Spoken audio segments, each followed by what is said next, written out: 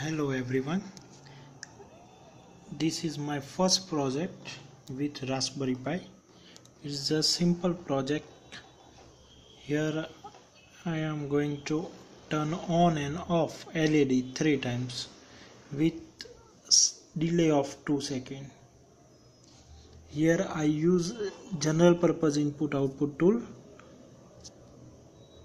You can see here it's pin number 7 of Raspberry Pi and its ground pin and I directly connect it to one white LED here I use Python shell this is simple program. In this you can see I have write three times. General input output pin 7 true and false simple.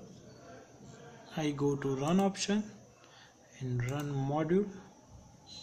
Then LED starts working. This is first time.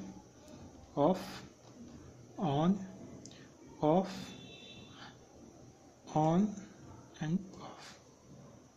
Here I just write program to start LED three times and off three times this is my first project. Thanks for watching